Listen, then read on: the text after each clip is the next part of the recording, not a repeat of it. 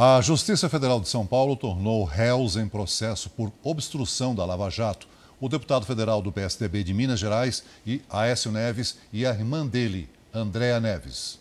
A denúncia foi feita pelo então Procurador-Geral da República, Rodrigo Janot, ao Supremo Tribunal Federal, quando Aécio ainda era senador. Aécio foi denunciado por corrupção passiva e tentativa de obstrução das investigações da Lava Jato. No acordo de delação, Joesley Batista, do grupo JIF, afirmou que pagou 2 milhões de reais a Aécio Neves em troca de favores políticos.